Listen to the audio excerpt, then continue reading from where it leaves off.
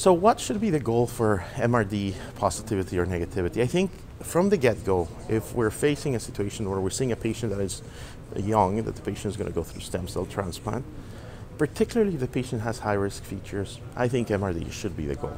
In fact, one of the slides I showed at one of the educational sessions yesterday, I quote Vince Lombardi and I said, you know, uh, it's, it's, it's the only thing we should do. It's, it's not just important, it's the only thing we should aim for. Now, I say there's um, an exception to this, and that is that there are some patients, for instance, elderly patients who may have more benign disease, who potentially could be thought of more like, say, a follicular lymphoma, where, where a good level of control might be sufficient and you don't want to push it to the point that you create toxicity.